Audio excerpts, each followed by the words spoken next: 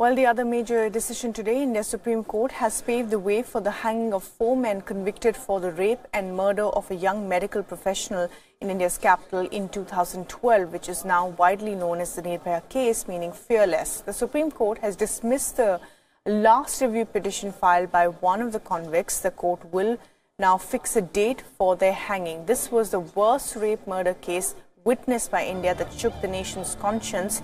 A 23 year old paramedic who was traveling back home with her friend was beaten, tortured, raped, and left to die on the streets. Doctors were horrified at her wounds and signs of inhuman rape committed on her by six people. One of the juvenile was tried separately, another of the accused hanged himself in jail. The remaining four were sentenced to death by three successive courts in India. On Wednesday, India Supreme Court gave finality to its May 2017 verdict by dismissing the last review petition pending filed by one of the convicts, Akshay Kumar Singh. Singh wanted a review of the court's decision to hang him. He argued that the verdict suffered many flaws. He doubted the prosecution story of all the accused committing rape. He punched holes in the dying statement of the victim, which did not name him as such. His petition even cited the worsening air quality in Delhi that would kill him anyway. That was one of his arguments. But uh, trashing all his arguments, the Supreme Court upheld the order. The three judge bench, headed by Justice uh, unanimously dismissed the petition. In July 2018, the Supreme Court had dismissed the review, pet review petitions of the other convicts Mukesh, age 30, Pawan Gupta, age 23, and Vinay Sharma, age 24 at the time. Akshay, whose review petition was dismissed today by the court, is now 28.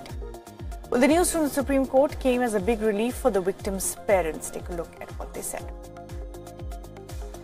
कि अब उसका time उन्होंने गवा दिया है एक साल पूरा बैठ के क्योंकि 18 महीने रिव्यू तीनों की खारिज हुए हो गई इनके पास 18 महीने टाइम था रिव्यू करने का क्यूरी करने का इन्होंने नहीं किया जेल में सात दिन का डेट अरे नोटिस किया था कि इसमें सात दिन के अंदर सब मर्सी पटिशन जिसको करना है कर लो इन लोगों ने नहीं किया तो ऑलरेडी इन्होंने टाइम खत्म कर दिया है और उम्मीद है कि अब इसी पे इन लोगों का डेट और इंसाफ के एक कदम और नज़दीक हम पहुँच गए Well, the decision of court has cleared the way for the hanging of the four accused. A trial court in Delhi will be hearing a plea later in the day to fix the date of hanging.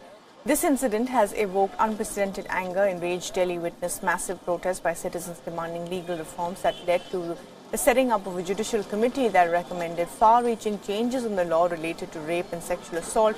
Sadly, stringent laws have not prevented the occurrence of rape or murder in the Indian city of Hyderabad. Just uh, recently, a doctor was brutally raped and her body burnt by four men within days. They were killed in a shootout. With the apex court verdict out, Nirbhaya's killers will be finally hanged and hopefully justice done.